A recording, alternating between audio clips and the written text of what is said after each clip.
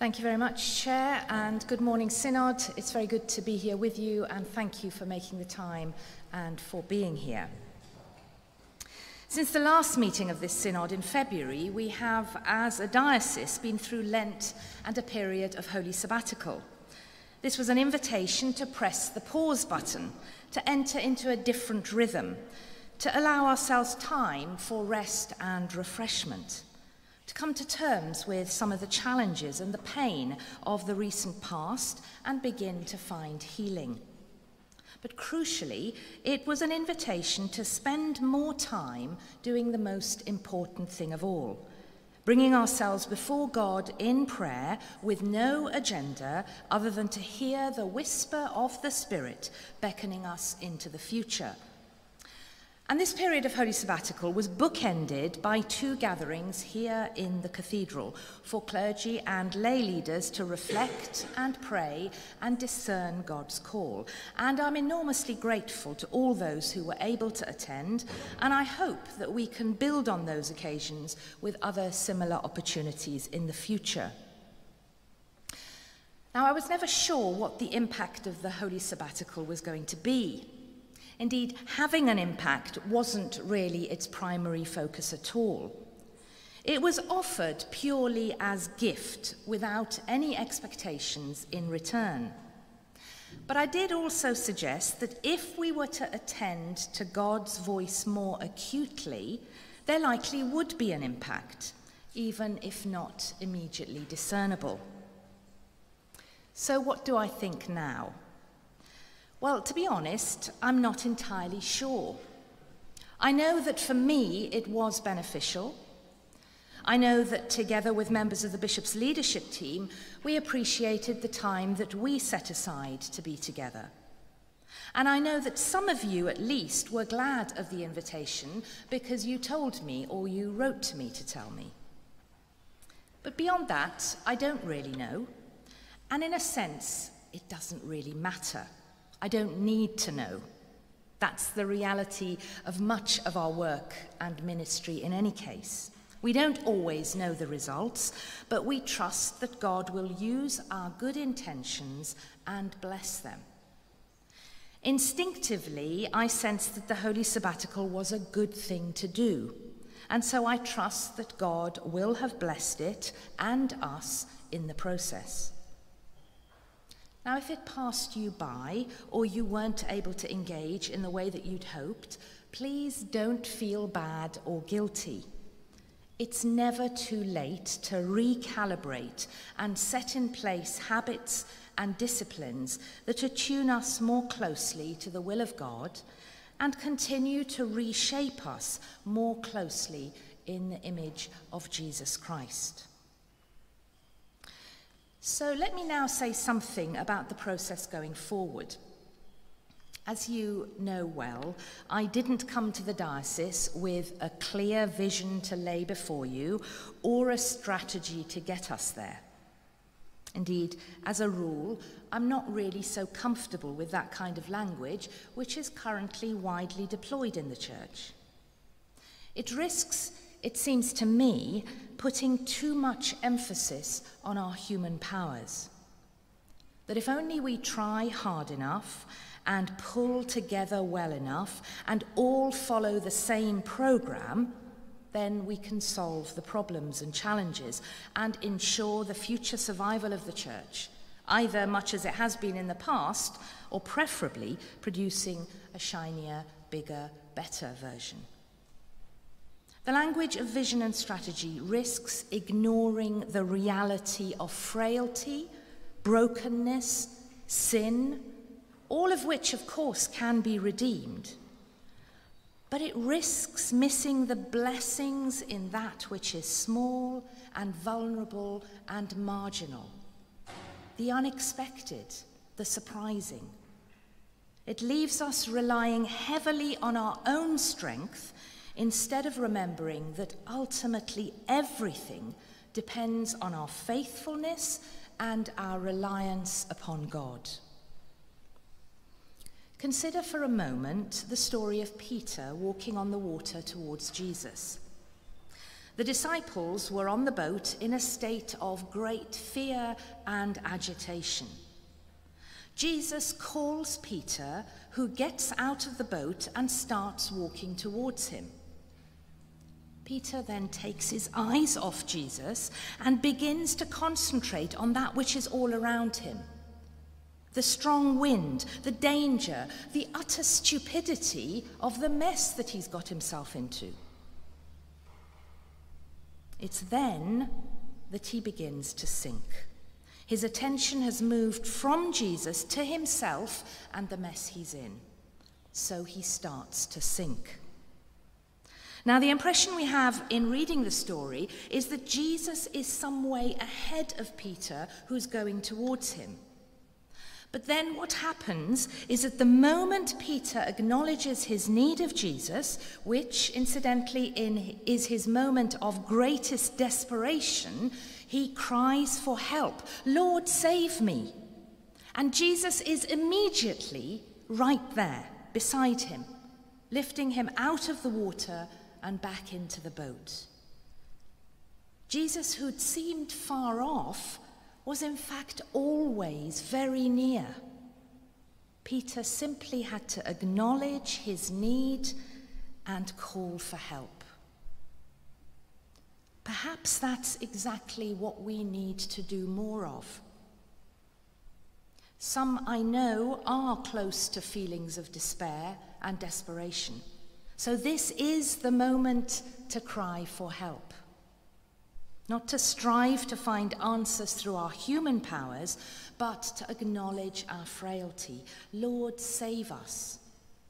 And then rely on God's strength to lead us to a better place.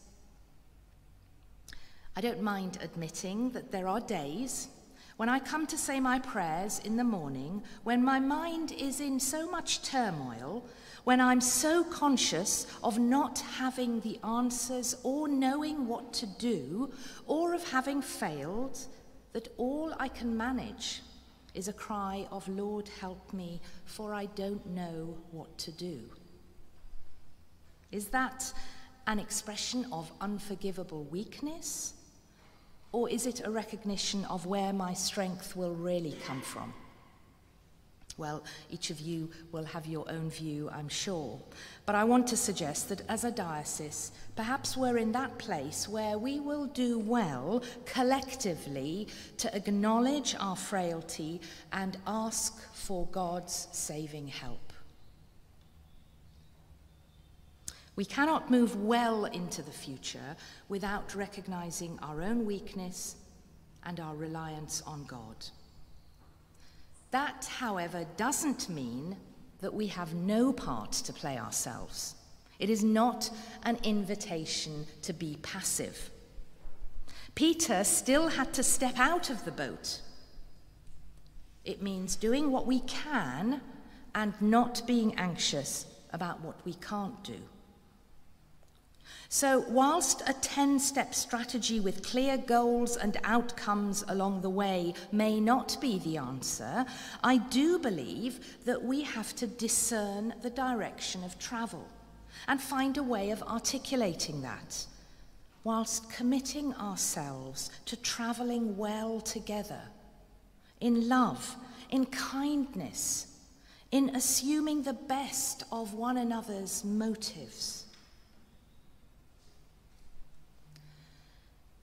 So for now, we'll continue to allow the echoes of the Holy Sabbatical to take effect in our lives for the coming weeks and through the summer.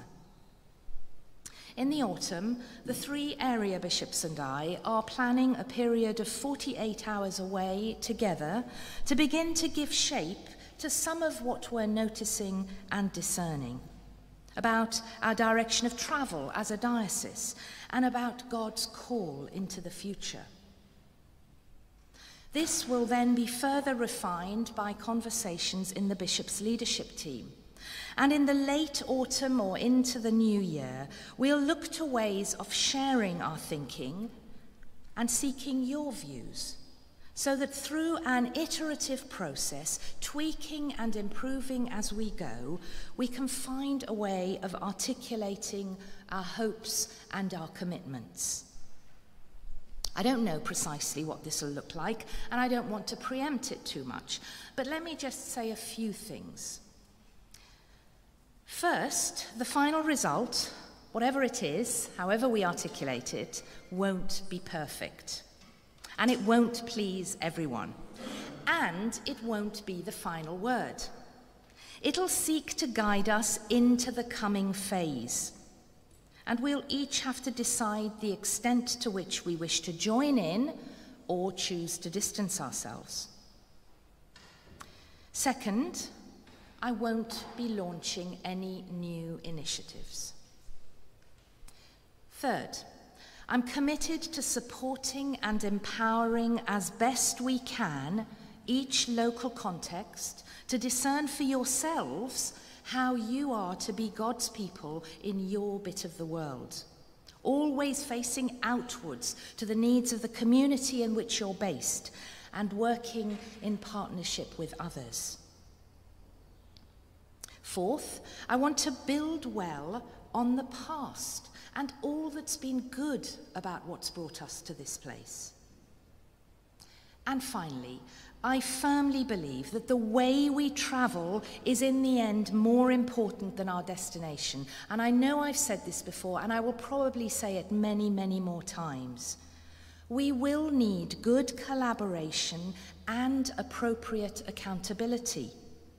We'll need to develop much stronger levels of trust than we currently have. And to be fruitful, the venture will need to be a shared one each of us playing our part, not just thinking about our own needs, but always seeking the common good. So, as I begin to draw to a close, I want to ask each of us to think about making a choice as we step into the future. Do we want to be victims who continually notice the deficiencies, find faults, and look for places to lay blame elsewhere for every problem and imperfection?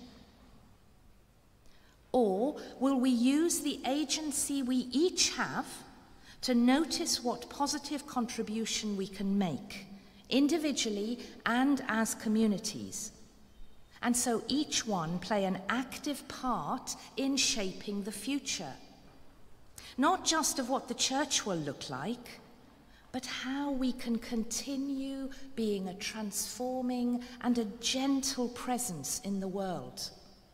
Sharing the good news of the gospel, speaking out for acts of speaking out and acting for justice, and helping to make a difference in the lives of those who need it most.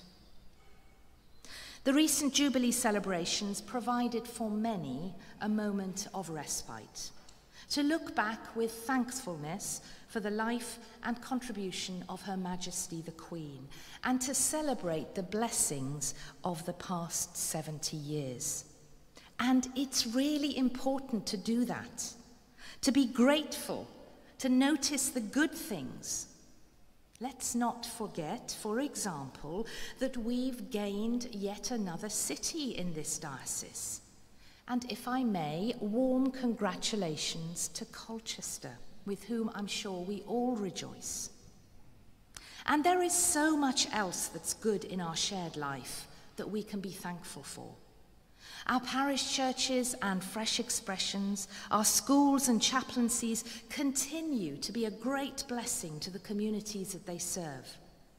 Every day, as I meet and speak with people across our diocese, I'm given great cause for hope about the future.